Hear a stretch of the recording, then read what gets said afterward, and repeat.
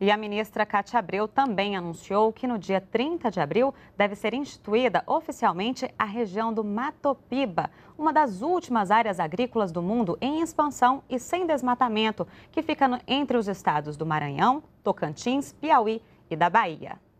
Nós estamos é, observando no Matopiba uma transferência de pecuária para a agricultura, a pecuária ficando mais tecnificada em uma área menor e a área de grão sendo ampliada. Matopiba é Mar, Maranhão, Tô, Tocantins, Piauí e Bahia. Vai lançar o quê, ministro? É, vai, vai, vai lançar um decreto delimitando, instituindo esta área e apresentando todos os seus potenciais.